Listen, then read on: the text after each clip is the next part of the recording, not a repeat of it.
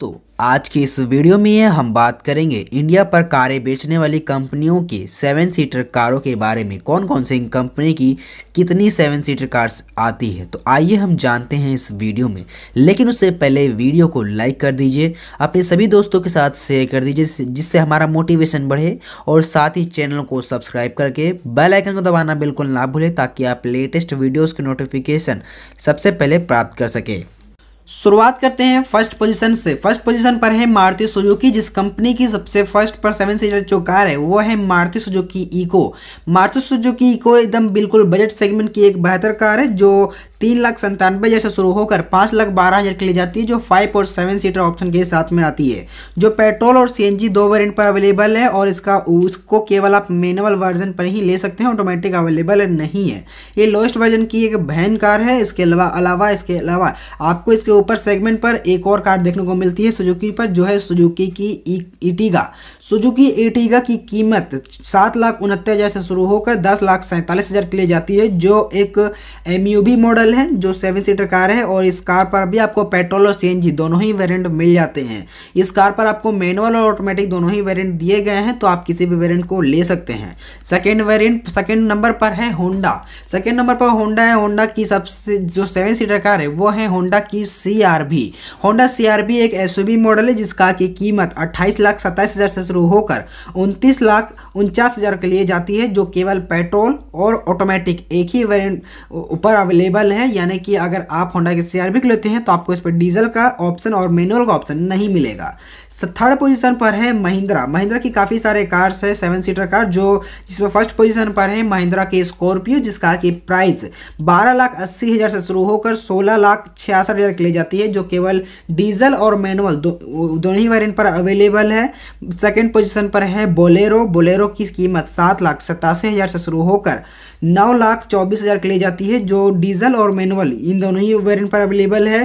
Third position पर है मराजो और इस कार की कीमत ग्यारह लाख चौंसठ हज़ार से शुरू होकर तेरह लाख उनहत्तर हज़ार के लिए जाती है, जो भी डीजल और मैनुअल पर ही अवेलेबल है। इसके अलावा फोर्थ पोजीशन पर महिंद्रा की तरफ़ से आती है महिंद्रा के X U V five hundred Mahindra X U V five hundred की कीमत चौदह लाख से शुरू होकर उन्नीस लाख बहत्तर हज़ार के लिए जाती है, जो डीजल पर अवेलेबल है, लेकिन मैनुअल और ऑटोमेटिक दोनों ही का ऑप्शन आपको यहाँ पर मिल जाते हैं।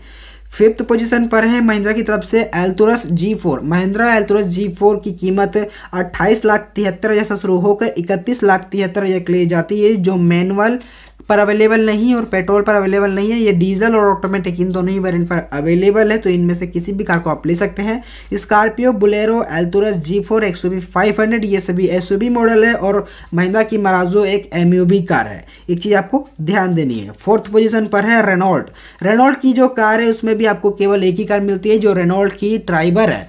रेनॉल्ट ट्राइबर की कीमत पाँच लाख बीस हज़ार से शुरू होकर सात लाख पचास हज़ार के लिए जाती है, जो पेट्रोल पर अवेलेबल है और मैनुअल और ऑटोमेटिक दोनों ही ऑप्शन आपको इस कार पर मिल जाते हैं।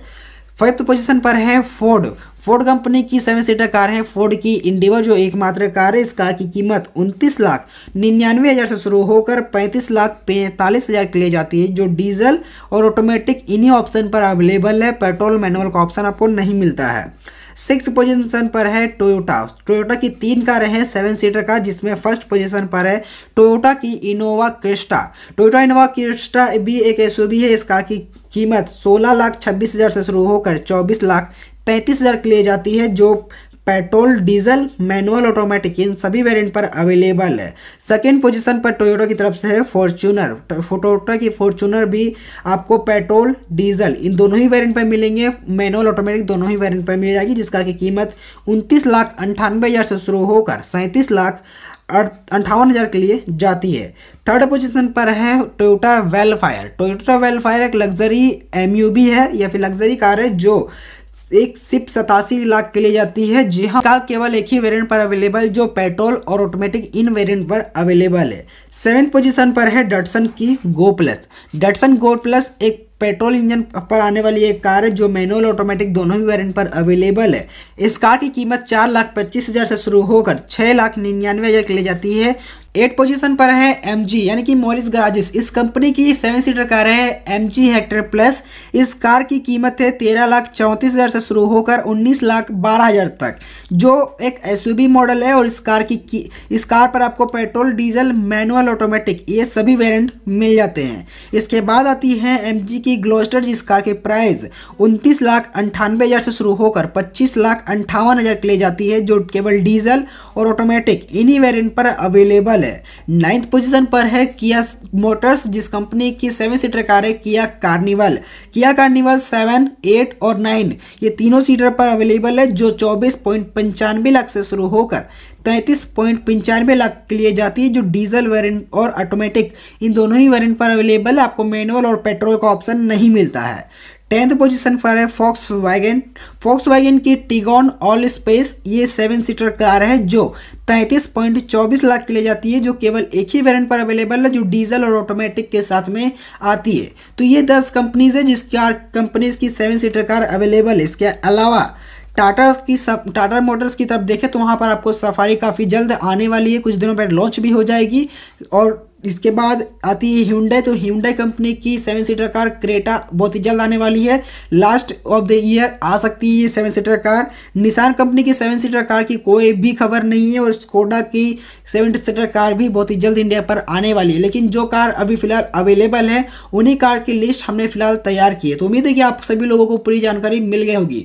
वीडियो को लाइक और शेयर करना बिल्कुल ना भूलिए। अगर ऐसे ही वीडियो आप रोज़ाना देखना चाहते हैं तो चैनल को सब्सक्राइब करके बेलाइकन को ज़रूर दबा लें। किसी प्रकार का डाउट हो तो आप हमें कमेंट कर सकते हैं इंस्टाग्राम पर डीएम कर सकते हैं, सभी सवाल को जवाब आपको तुरंत दिए जाएँगे। तो मिलता हूँ उसी प्रकार के एक नई हेल्पफुल वीडियो के साथ, तब तक के लिए अपना ध्यान रखिए। जय हिंद, वंदे मातरम।